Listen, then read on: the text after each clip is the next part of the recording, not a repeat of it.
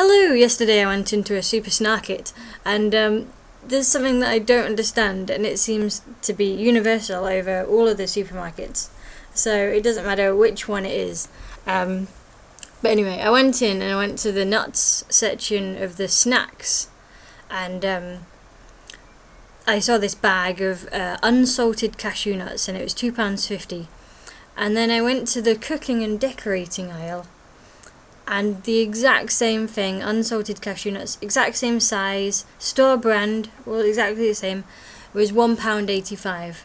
And I don't understand why it's cheaper for the exact same thing, just nuts, in the cooking and decorating aisle than it is in snacks. I don't I don't understand why that is.